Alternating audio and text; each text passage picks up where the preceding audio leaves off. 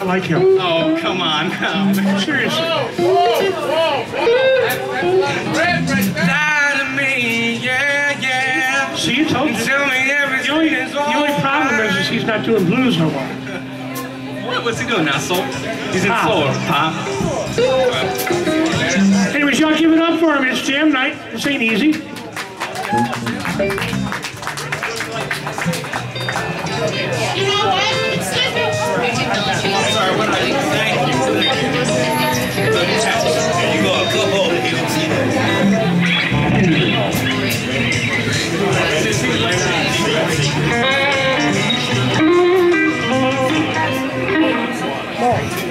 Thank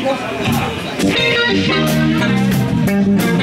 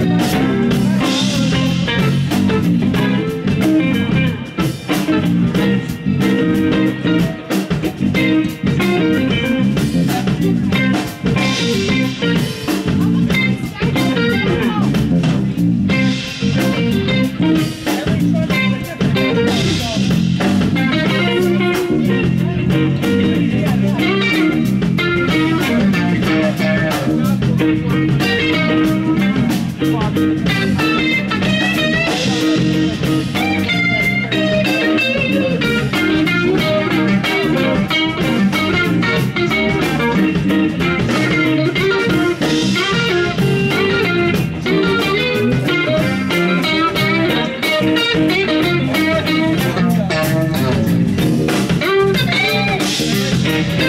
you.